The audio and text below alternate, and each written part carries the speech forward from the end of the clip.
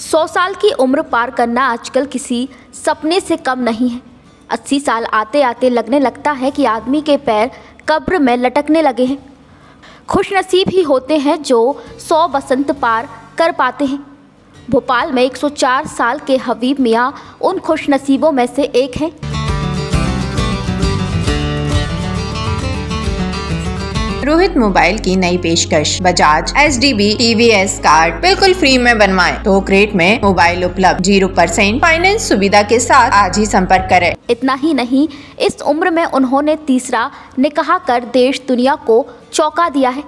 इस उम्र में भी वे पूरी तरह स्वस्थ और फिट हैं। यही कारण है कि 50 साल की फिरोज जहाँ ने उनकी बेगम बनना कबूल किया है। हबीब मियाँ की एक खासियत है कि वे देश की आज़ादी के सिपाही भी रह चुके हैं। स्वतंत्रता संग्राम सेनानी हबीब मियाँ को इतवारा क्षेत्र के लोग मजला भाई के नाम से भी जानते हैं। कांग्रेस पार्टी के भी सक्रिय सदस्य रह चुके हैं।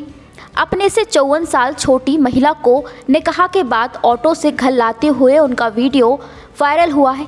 इससे वे एकाएक चर्चा में आ गए हैं। उम्र कितनी है अभी आपकी? जी। उम्र उम्र क्या हो गई अब? 105 103 103 चलिए अल्लाह ताला और डबल करे। किसी चीज़ की कमी नहीं है। बेशक। कमी हमारे दिलों में है। बेशक बेशक। हाँ नहीं माशाल्लाह से। जब भी मांगते जी। आँखें अल्लाह ने वैसी रखी। सुबहान अल्लाह जब भी वो लोग जी। आएँगे और वज़ीर आलम भी हो कैसे सबसे बड़ी बात तो वो झुक। सही बात। है राष्ट्रपति भी। हाँ। मैं सब मुजाहिद आज़म शायद आप ही बचे होंगे? यही बच्चे होंगे हाँ? अब तो दिया। राष्ट्रपति जी। बड़े खुश हैं। हालाँकि हबीब नज़र का निकाह एक साल पहले 2023 में हुआ था। इस उम्र में यह उनका तीसरा निकाह है। इसके पहले उनकी दो बेगमों का इंतकाल हो चुका है। ऐसे में वे उम्र के आखिरी पड़ाव में खुद को अकेला पाकर देखभाल के लिए बीबी की ज़रूरत महसूस करने लगे और उनचास साल की फिरोज जहाँ के अकेले होने की बात पता चलने पर उन्होंने निकाह की चर्चा चलाई। बुज़ुर्ग हबीब नज़र के पूरी तरह स्वस्थ होने की जानकारी के बाद उन्होंने निकाह के लिए हामी भर दी। इसके बाद मुस्लिम रीति रिवाज के अनुसार दोनों ने एक दूसरे को कबूल कर लिया। अब हबीब साहब अपनी बेगम के साथ खुश हैं और जीवन जी रहे हैं। इस उम्र में वे जोश से लवरेज हैं। शादी ब्याह को उम्र से ना जोड़ते हुए हबीब मियाँ ने कहा कि ये दिल का मामला है। दिल में गुंजाइश होनी चाहिए।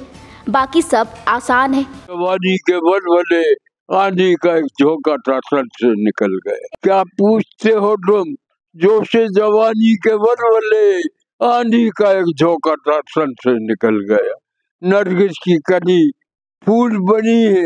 किसी के इंतज़ार में चुटकी जो बजाई मैंने, दिले बेकरार ने, कांदा दिया रकीब ने, वक्त सिया में। इस उम्र में भी उनका रहन सहन बता रहा है कि अभी तो मैं जवान हूँ। आपको बता दें कि हबीब नज़र ने 50 वर्ष पहले नासिक में निकाह किया था, लेकिन पत्नी का इंतकाल हो गया। उसके बाद दूसरा निकाह उन्होंने लखनऊ में किया और दूसरी बीवी का भी इंतकाल हो गया।